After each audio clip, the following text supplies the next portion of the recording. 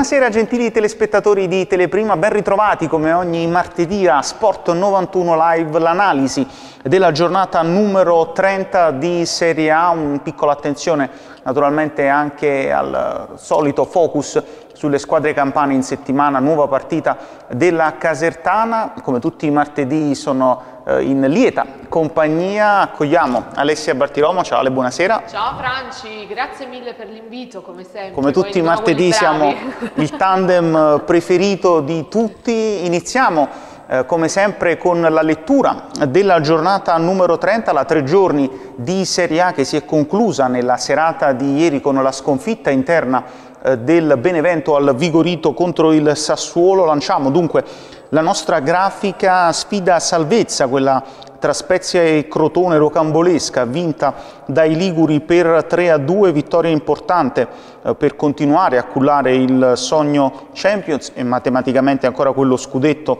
eh, del Milan a Parma. Vince a proposito di lotta salvezza il Torino a Udine, poi nel lunch match di domenica Inter batte Cagliari 1-0, nei match delle tre eh, vincono sia il, eh, la Lazio, sia la Juventus, sia il Napoli, prosegue il sogno europeo anche della Roma che una partita molto molto sofferta, batte 1-0 il Bologna, pirotecnico il 2-3 con cui l'Atalanta sbanca il Franchi di Firenze, come si diceva in apertura la vittoria del eh, Sassuolo al Vigorito di eh, Benevento. Un rapido sguardo anche alla classifica, rimane invariato il, ehm, la leadership dell'Inter più eh, 11 punti con il Milan e poi c'è la vittoria di tutte le prime otto della classifica, dunque praticamente rimane invariato sia il sogno scudetto per i nerazzurri sia quello Champions League ed Europa League per le squadre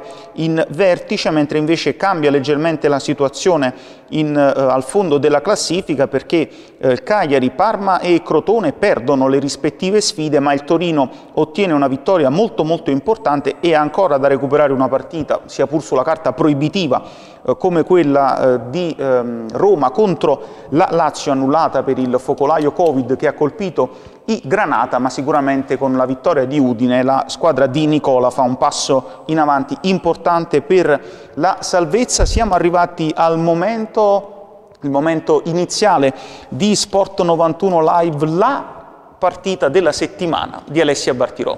Spezia Crotone, oggi ti voglio, ti voglio, stupire anche perché come hai detto giustamente tu le prime otto hanno vinto quindi eh, è vero sono state belle partite anche sofferte sicuramente ne parleremo dopo però non ci sono state tante sorprese però voglio essere anche un po' impopolare il Crotone non meritava di perdere. no, ha disputato veramente una grande partita ormai la classifica delle ultime tre posizioni si è abbastanza delineata. Ovviamente Ovviamente tutto può ancora succedere, ci sono ancora tanti punti in palio, però il gap inizia a farsi più netto tra le ultime tre forze della classifica e le avversarie che le precedono. Mi dispiace perché appunto ho visto una partita che comunque mi ha divertito, nonostante l'orario atipico soprattutto per il sabato, però nonostante ciò questo gol del pari raggiunto poi dallo Spezia nel finale, il gol vittoria praticamente allo scadere è stato veramente veramente un risultato troppo severo per il Crotone, quindi mi è dispiaciuto in particolar modo e mi è dispiaciuto anche per la Fiorentina che sinceramente sì. meritava sicuramente qualcosa in più, almeno un punto lo meritava contro l'Atalanta. Pienamente d'accordo sul discorso del, del Crotone, una una squadra che lotta in maniera sempre molto, molto estrema ma raccoglie davvero poco rispetto a quello che semina, è una situazione particolarmente delicata quando manca sempre meno alla fine del campionato, sì. eh, lo, avevo, lo, avevo, preannunciato ospite della, della, tua trasmissione con il direttore Gaudiano che, che salutiamo sempre con affetto, che sarebbe stata una partita difficile per il Crotone, sicuramente una sconfitta che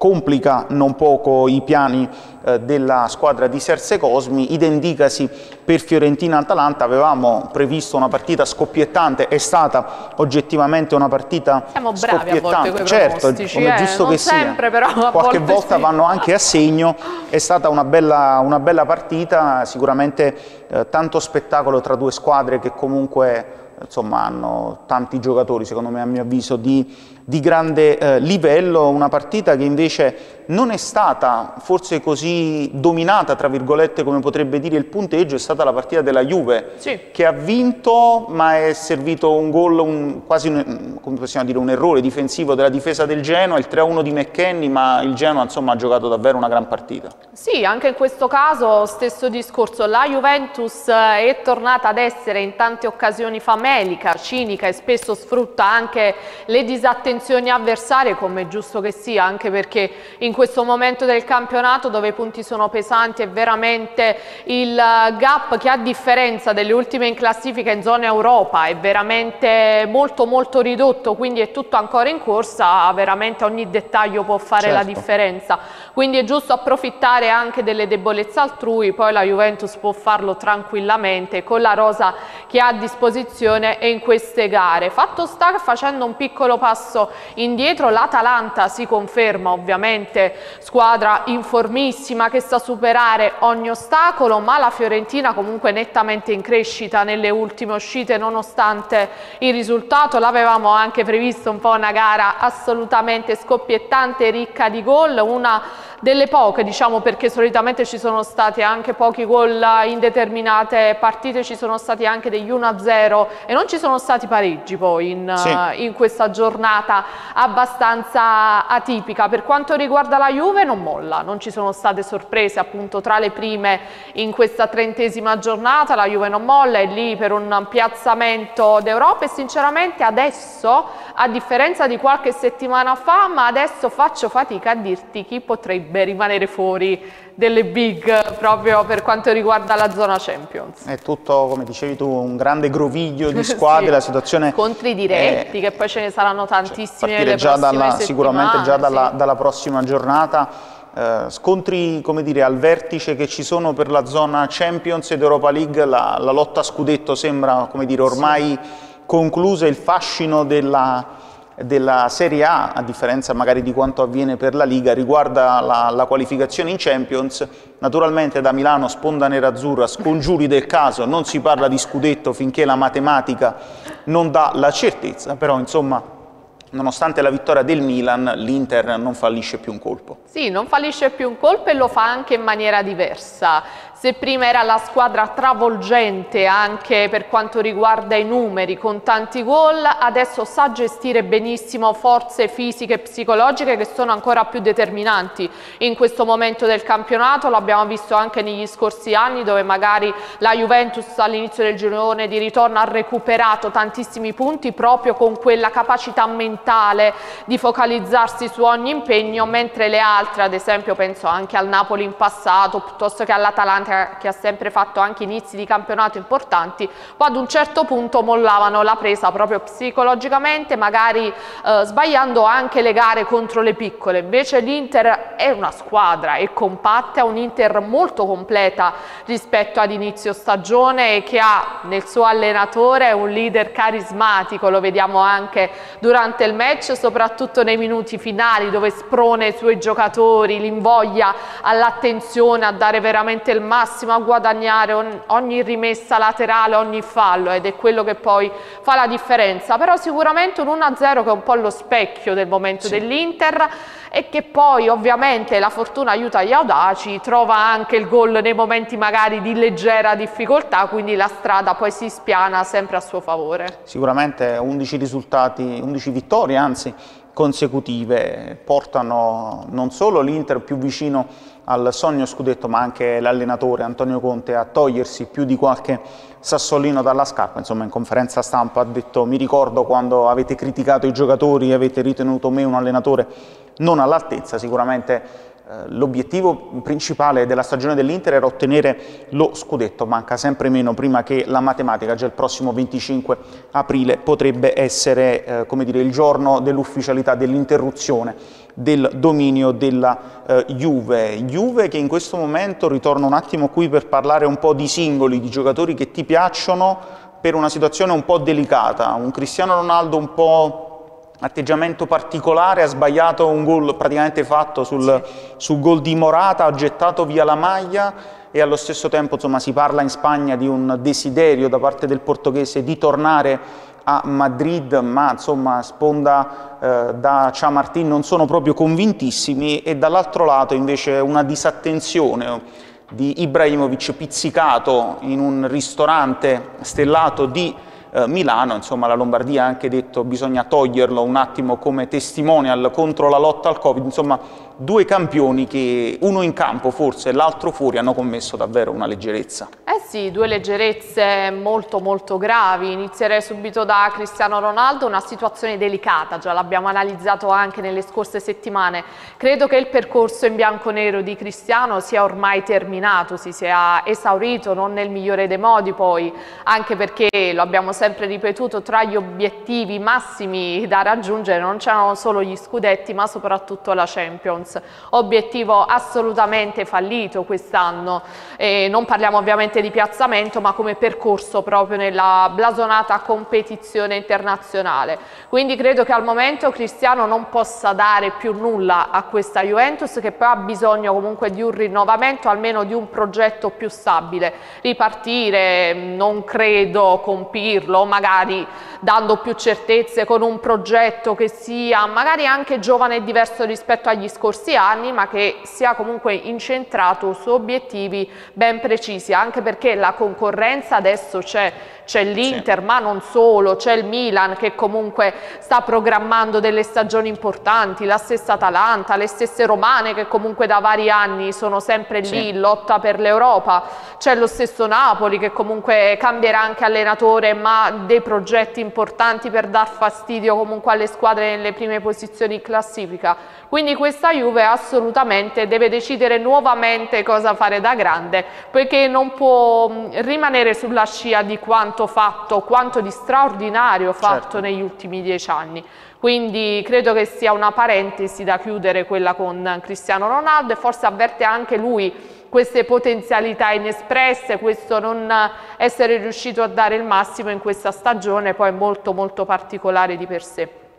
Per quanto riguarda Ibra, sì. Sì, invece Ibra, è una situazione ancora più delicata perché lo abbiamo detto anche la settimana scorsa parlando del comportamento questa volta sponda Juventus eh, dei vari calciatori imbischiati in questa festa eh, fantomatica sì. possiamo dire poiché è rimasto comunque un grande alone di mistero i calciatori ovviamente sono sempre attenzionati quindi tutto ciò che fanno è ancora più sotto una cassa di risonanza esagerata Nonostante ciò bisogna rispettare assolutamente le regole proprio perché si è da esempio per uh, una serie di persone che possono essere più giovani e meno giovani e prendono come riferimento ciò che vedono da quei campioni.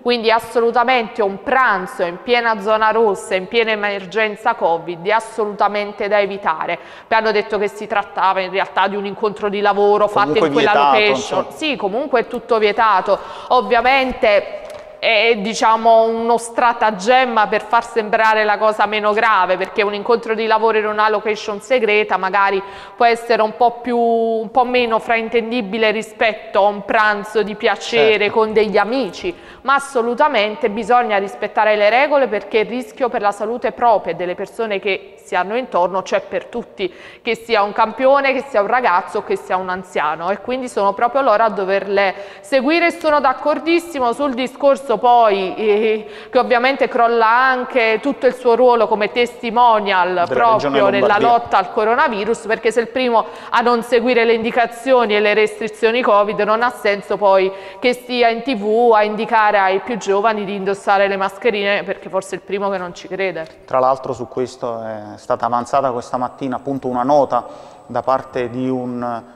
eh, di un politico milanese che si è rivolto direttamente all'assessore Moratti chiedendo che appunto ci fosse una comunicazione con chi di dovere per prendere dovuti provvedimenti alla situazione di Ibrahimovic, insomma un, uh, un autogol sicuramente uh, clamoroso da un punto di vista umano del fuoriclasse uh, svedese. Ale, prima di fermarci, li hai citate prima e dunque vado di domanda secca perché appunto ne abbiamo leggermente trattato, se a tuo avviso una delle due romane può arrivare in Champions League? Guarda, io ti ripeto, al momento faccio difficoltà a decidere chi escludere. Quindi ti metto ancora più in difficoltà? Sì, mi metti ancora più in difficoltà perché ho sempre creduto nel potenziale della Roma, ma con grande discontinuità. Rispetto alla Lazio che ha trovato più serenità, la vedo anche un po' più serena anche in campo, che sì. ha trovato poi il gol anche nel finale, quindi particolarmente allegra però sono due avversari fortemente temibili con grandi individualità quindi perché no? Al momento inserisco anche loro nella lotta alla Champions. Tra l'altro la Roma potrebbe ottenere la qualificazione con una vittoria in Europa League giovedì attesa dal ritorno eh, contro l'Ajax all'andata alla Johan Cruyff Arena. Grande vittoria degli uomini di eh, Fonseca che hanno battuto 2 a 1 la compagine di Tenag giovedì atteso il ritorno. Qualora si dovessero qualificare, non dovessero esserci degli uh, scombussolamenti troppo grandi naturalmente a Manchester, grande doppia sfida in semifinale tra Roma e uh, Manchester United. Uh, prima di proseguire con la nostra consueta analisi ci fermiamo un attimo, piccolo break pubblicitario, torneremo subito da voi. Una lente di ingrandimento sull'Italia e sulla Campania. Un occhio attento su tutto ciò che avviene in città. Benvenuti su Notice quotidiano online di informazione nazionale e regionale. Focus sulla cronaca, politica, attualità, cultura, spettacoli e sport. H24. Ci puoi trovare su www.notix.it e sulle nostre pagine social con i canali dedicati su Facebook, Instagram e YouTube. Tutta l'informazione nazionale e regionale solo su notix.it.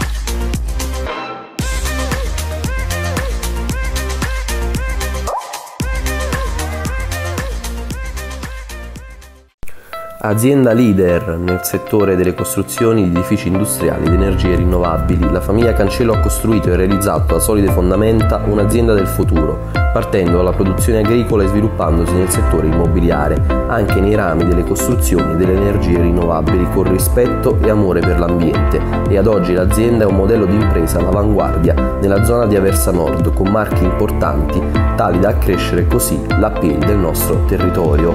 Gruppo Marican, via Consortile SNC 81030, zona Asi, Teverola, Aversa Nord, Caserta.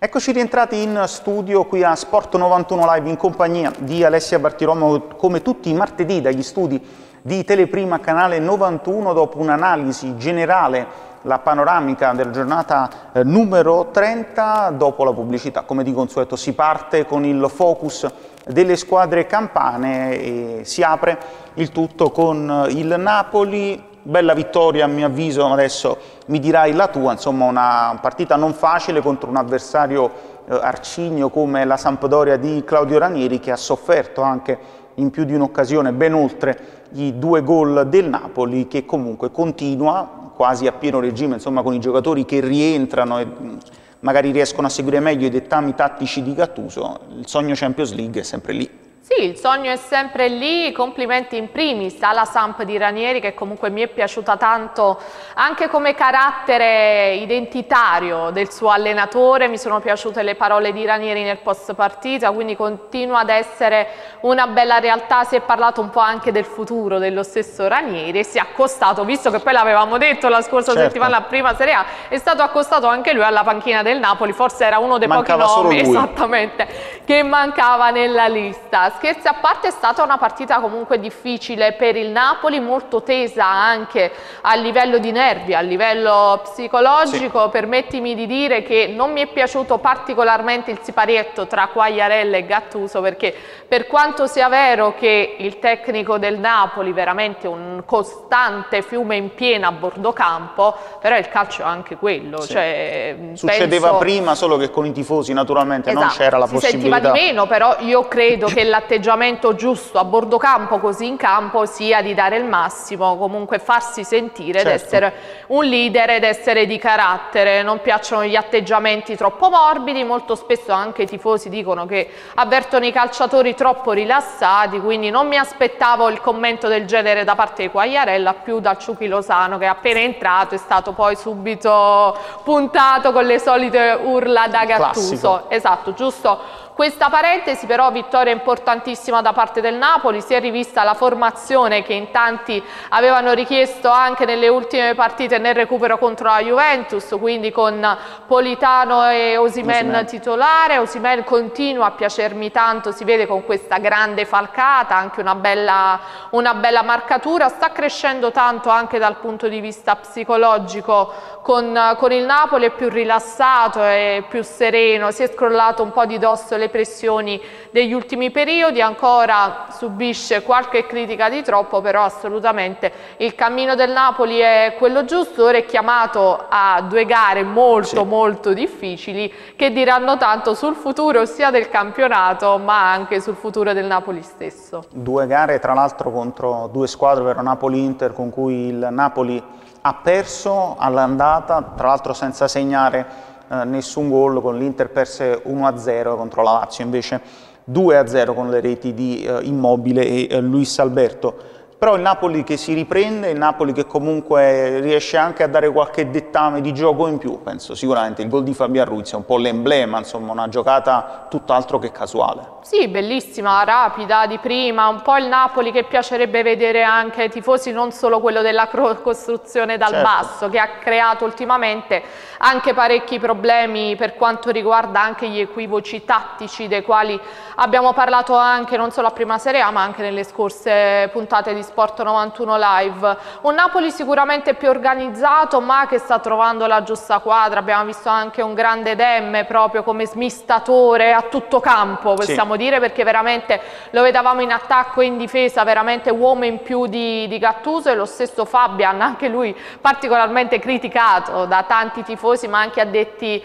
ai lavori che quando è nella giornata positiva, nel ruolo comunque a lui congeniale contro una squadra che ti fa giocare perché anche quello certo. fa la la differenza, riesce ad esprimersi al meglio ed essere anche poi cinico e a fare la, la differenza sinceramente in, in, questo momento. Un giocatore che comunque sta, sta ritrovando, un giocatore che io personalmente ho sempre da un punto di vista anche obiettivo difficoltà a criticare, però è un giocatore che deve pensare di dare più al Napoli perché comunque è un giocatore che ha un talento sconfinato, ma l'idea che possa giocare solo da mezzala insomma serve, serve a poco, c'è bisogno certo. anche di una maggiore d'utilità tattica da parte sua, intanto però nonostante tutto il Napoli è lì, sta quasi per raggiungere la zona Champions, ma il futuro della società, il futuro di Gattuso soprattutto, sembra lo stesso segnato.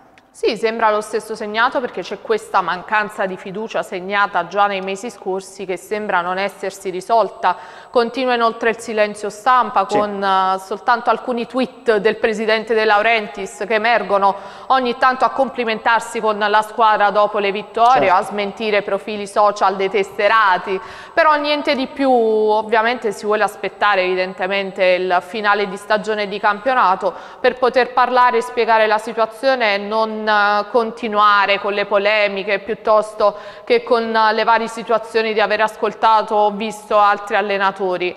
Ti ripeto, io credo che il rapporto tra De Laurentiis e Gattuso sia segnato da tempo e credo sì. che ci sia una frattura troppo netta per essere risanata ed è giusto che entrambi possano voltare pagina per riprendere con un nuovo progetto tattico altrove. Per quanto riguarda il Napoli, cercare di capire ugualmente, come dicevamo prima, per la Juve con questo nuovo progetto, cercare di capire cosa dovrà fare da grande, se puntare ancora per un altro anno ad un piazzamento Champions, dare comunque fastidio alle primissime in classifica, puntare a conquistare eventualmente in caso di qualificazione in Europa League, ad arrivare più avanti possibile in questa competizione. C'è da capire un attimo la, la situazione della società che ormai è una società grande, cioè ha calciatori importanti, fa investimenti importanti, quindi è anche un peccato essere lì ogni anno e ripetere la solita fila strocca, sì il nostro obiettivo è un piazzamento Champions, anche quello è difficilissimo, però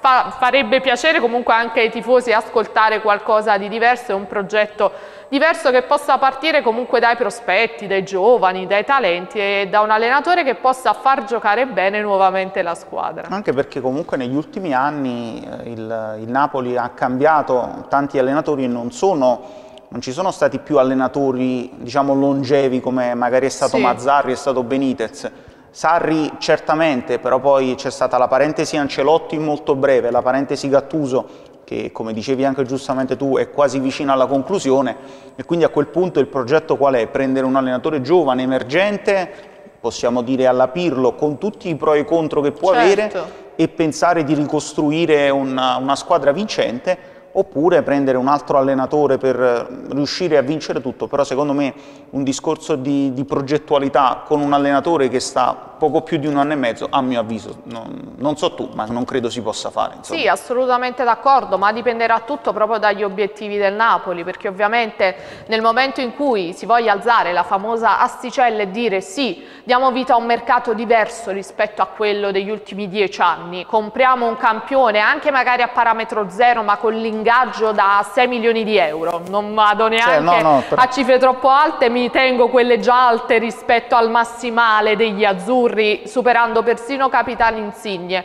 Quindi in quel momento tu puoi puntare, puoi provare a fare la famosa telefonata da Allegri e di mister noi abbiamo un progetto a vincere, ti do carta bianca con questo budget per questo mercato, proviamo, non dico al primo anno ovviamente vincere lo scudetto, ma dare fastidio a Inter, Milan e Juve ad esempio. Certo però io credo che nei piani nel, del Napoli ci sia sempre eh, confermarsi tra le prime quattro in classifica e ripeto comunque non è cosa scontata quest'anno così come il prossimo e dare vita comunque a un mercato con i soldi che arriveranno da alcune cessioni certo. importanti che sembrano ormai certe e da numerosi giocatori attenzionati in giro per l'Italia e per il mondo che possano essere dei talenti e dei prospetti, magari beccando qualcosa anche in Serie A.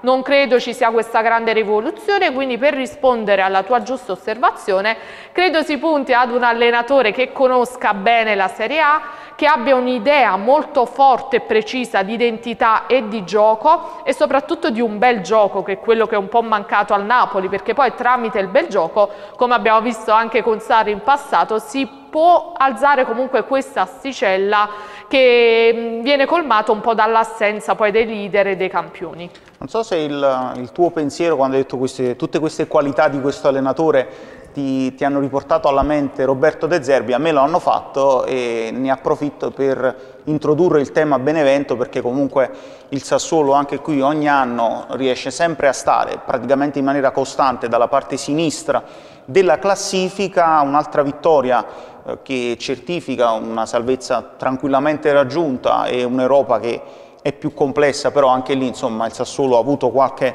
eh, defezione in questa stagione l'aspetto, tra virgolette, positivo, secondo me, nella, nella, sconfitta della squadra di Inzaghi è stata comunque una reazione che il Benevento ha provato sì. a mettere in campo e la sconfitta delle ultime tre che, come dire, in qualche modo, tra virgolette, pareggiano anche la, la, sconfitta dei Sanniti. Stavo pensando proprio a questa cosa, infatti, che il Benevento è stato sicuramente aiutato ed è sicuramente aiutato dalla classifica e dalle prestazioni poco positive delle ultime tre in classifica nelle quali c'è abbastanza già un gap importante, un piccolo baratro, soprattutto dall'ultima vediamo già un gap di 5 punti che comunque è tanto certo. da colmare, perché altrimenti anche il Benevento sarebbe in zona un po' più rossa, quindi la situazione sarebbe sicuramente un po' più complicata. Il problema sono sempre i risultati per quanto riguarda i Sanniti, perché come hai detto tu, ma l'abbiamo registrato anche nelle scorse settimane, la reazione di carattere, la reazione di veemenza, l'idea di gioco c'è sempre nel Benevento. Ovviamente sono ancora tante le defezioni da ambo le parti, però il Sassuolo al momento è, gioca più leggero, è più spensierato, ha un'organizzazione di gioco assolutamente più compatta e ritornando poi al discorso iniziale, credo che De Zerbi sia pronto per allenare comunque una grande, assolutamente. Sì. Ha tutto il tempo dalla sua e credo che non si bruci come spesso si dice in gergo, ma che sia assolutamente pronto per un'avventura ancora più stimolante. Sì, sì, questo l'ha detto anche lui, tra l'altro ne ha parlato in, in, una diretta Twitch, ha detto un allenatore comunque come me, come insomma tutti gli allenatori devono essere pronti alla sì. chiamata in una big, più o meno è successo lo stesso anche con, con Sarri che allenava l'Empoli, lo chiamò il Napoli e lì sicuramente è stata data una svolta importante alla sua personalissima eh, carriera. Salvezza del Benevento che però non è ancora raggiunta e il prossimo impegno di campionato dei Saniti è tutt'altro che facile all'Olimpico contro la Lazio. E dunque eh, chiedo gentilmente alla regia di lanciare la grafica della giornata 31 che si apre sabato 17 eh, con Sampdoria Verona e insieme a Crotone Udinese, Sassuolo Fiorentina, Cagliari Parma, domenica invece il lunch match è eh, Milan-Genoa, poi c'è Atalanta-Juventus, Bologna-Spezia, Lazio-Benevento alle 18 al pari di Torino-Roma e infine il posticipo di domenica 18 tra Napoli e uh, Inter. Ale, ti tolgo Napoli-Inter e Atalanta-Juventus perché è troppo facile, dunque quale partita ti, ti può interessare? Insomma, Guarda, stavo pensando proprio sul Benevento, che anche in questo caso per il prossimo turno è abbastanza, non dico facilitato, non nel risultato, ma nel senso di eventuale sconfitta, certo. Perché non solo c'è lo scontro diretto tra, mh, mm, ho perso la partita che non leggo, però c'è, ah, tra Cagliari Cagliari e Parma, ecco, bensì c'è Torino-Roma. Sì. Quindi assolutamente in caso ovviamente di risultato negativo la classifica potrebbe comunque variare poco per il Benevento, quindi anche in questo caso potrebbe non essere risucchiato ma comunque restare tutto abbastanza stabile. Invariato. Leggendo ovviamente perché la vecchiaia non mi aiuta in questo, ovviamente allora Sampdoria-Verona secondo me è una bella partita, devo dire la verità perché ho visto la Samp particolarmente sì. in forma e particolarmente però, sì. Sì, motivata soprattutto a giocare bene, spensierata con i suoi dettami tattici, quindi credo che non molli la presa in questo momento del campionato ma punti a divertirsi magari scrollandosi di dorso anche un po' di situazioni situazioni pendenti dalle scorse settimane. Poi vabbè, c'è questa Lazio Benevento che assolutamente ci affascina sì. perché il Benevento sa essere comunque sempre una variabile impazzita contro le big anche se credo che ci sia Sulla poco da fare sì, 1x diciamo così oggi mi voglio proprio dare ai pronostici Cagliari-Parma ne abbiamo già parlato, Sassuolo-Fiorentina, e eh beh, Sassuolo-Fiorentina anche, anche carta... ci potrebbe dire qualcosa di, di interessante, mi sì. sbilancio anche perché l'ho detto, ho visto la Fiorentina bene, avida di riscatto, avida di vittorie, quindi un bel 2 lo potrei consigliare agli amici da casa. Il Milan deve confermarsi deve confermarsi, non deve mollare la presa, complici anche ovviamente le prossime gare della capolista, anche certo se sinceramente la vedo troppo famelica, sì, la vedo troppo famelica, secondo me vuole archiviare quanto prima la pratica, quindi non credo ci saranno clamorosi passi falsi, al massimo qualche pareggio, visto che comunque ha un gap abbastanza sostanzioso. E per quanto riguarda le altre gare, Bologna-Spezia, Sassuolo-Fiorentina ne abbiamo parlato, Atalanta-Juve, bella. Anche lì, grande partita. Niente da dire. E c'è anche, insomma direi lo possiamo fare, un piccolo flash su un Napoli-Inter, tu parli di un'Inter wow. famelica, 11 vittorie consecutive, si può interrompere questa, questa, insomma, questa striscia anche con un pareggio, esatto. comunque si, inter si, interromperebbe in questo sì. Sì, in realtà mi riferivo proprio alla gara del Maratona, nel senso che sicuramente il Napoli non vuole staccarsi dal treno delle big, sicuramente il Napoli ha perso punti importanti contro la Juve, l'abbiamo detto, una gara importante ma non decisiva, decisiva, però con le prossime due gare contro Inter e Lazio sicuramente il Napoli dovrà fare punti, non si può permettere in questo momento due sconfitte. Con la Lazio assolutamente se la può giocare, certo. penso sia assolutamente all'altezza anche di conquistare l'intera posta in palio, anche perché saranno due gare casalinghe, anche se ovviamente l'effetto campo, eh, il pubblico non c'è, però giocare al Maradona ovviamente dà sempre un certo orgoglio. E, però per quanto riguarda la gara contro l'Inter sarà una bella sfida, una sfida aperta, anche se te lo ripeto, l'Inter ora è la classica squadra 1-0, compatta, non ti fa giocare, certo. ti blocca le fonti di gioco, cosa che spesso mette il Napoli in grande crisi e in grande difficoltà. Però proprio per questo gli azzurri potrebbero giocare un po' più sciolti, un po' più rilassati e ne potrebbe uscire una bella gara, dai dico X. Di questo, mi naturalmente, mi di questo naturalmente ne, ne parlerai con, con, i tuoi ospiti a Prima Serie A. Noi prima di salutarci facciamo una, una piccola attenzione, come sempre, anche alla Casertana, perché insomma, il momento dei Falchetti è un po' delicato, è arrivata la sconfitta interna al Pinto contro il Palermo e poi ieri in una partita, come dire, un po' particolare, possiamo dire, al sì. Rocky di Viterbo, una sconfitta 5 a 2 e un punto su cui insomma, mi, mi, piacerebbe focalizzarmi che non era mai successo né da Guidi né da parte di un tesserato nel caso di ieri di Carillo ho detto la Casertana non cerca alibi, però insomma qualche scelta arbitrale ieri insomma, no, non è affatto piaciuta alla compagine rosso-blu. Eh sì, riflettori puntati non solo sull'espulsione ad inizio ripresa che ha compromesso certo, poi da lì tutta la partita, sì, di Del Grosso, perché la gara era stata abbastanza, è vero, con vari colpi di scena, però era stata abbastanza equilibrata, la Casertana poteva strappare tranquillamente anche un pareggio, persino una vittoria con i vari episodi di Viterbo. Poi ovviamente ha giocato in 10 dall'inizio della ripresa e quindi da lì poi la Viterbese ha dilagato. Tra quindi... l'altro Ale scusami, ha detto sì. il mister giustamente il gol del 3 a 2 ha completamente tagliato le gambe. Sì, da lì non c'è stata più partita partita. all'inizio comunque la Casertana è stata brava a rispondere subito al vantaggio della Viterbese a freddo con, uh, con la risposta di Pacilli, quindi in questo c'è stata poi subito la, la reazione dei Falchetti, ma c'è sempre, questo assolutamente anche perché avendo acquisito già la salvezza, essendo comunque agganciata in zona playoff, vuole continuare a dire la sua, non vuole incassare sconfitte, però complici, gli indisponibili, complici i giocatori che in questo momento stanno giocando poco e non sono in formissima e anche qualche errore di troppo dei singoli sì. perché si è visto proprio c'è stato un blackout continuo in difesa da parte dei Falchetti, purtroppo i risultati non stanno arrivando. C'è tempo però per riscattarsi subito, c'è il recupero giovedì, giovedì, contro il Monopoli,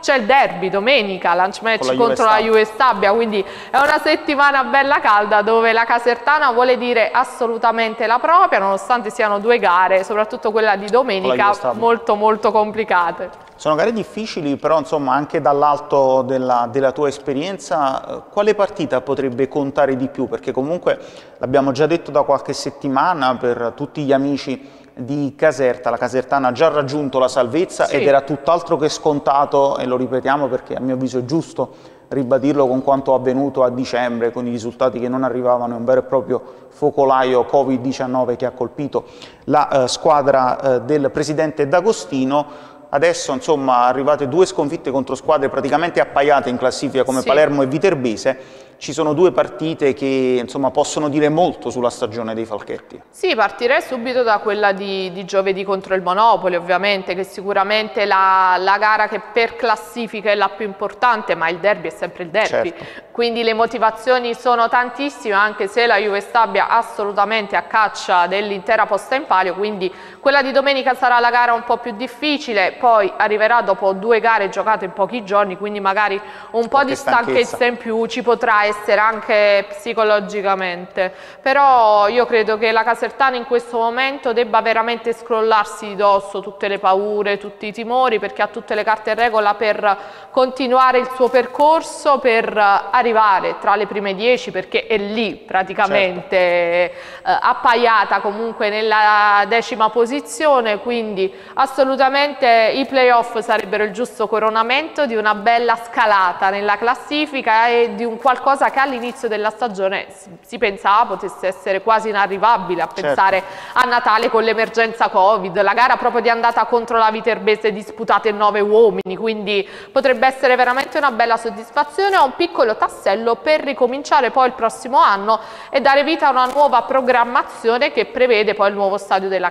Casertana e tante belle cose e potrebbe proiettare poi Falchetti veramente nell'Olimpo delle squadre campane. Progetti importanti non solo come diceva giustamente Alessia, da un punto di vista strutturale, ma anche eh, naturalmente per quel che riguarda il calcio più giocato, anche il campo con la conferma ormai nota di Mister Guidi sulla panchina dei rossoblù. Ale, noi siamo in chiusura, io come sempre ti ringrazio per i tuoi contributi Grazie e do appuntamento a tutti gli amici di Teleprima venerdì alle ore 21.30 con Prima Serie A con il direttore Gaudiano e i vostri ospiti. L'appuntamento invece come sempre a prima serie A eh, di venerdì, l'ho già detto, a Sport 91 Live, invece è martedì prossimo alle ore 21.30. Grazie come sempre a voi da casa per averci seguito e buon proseguo di serata a tutti.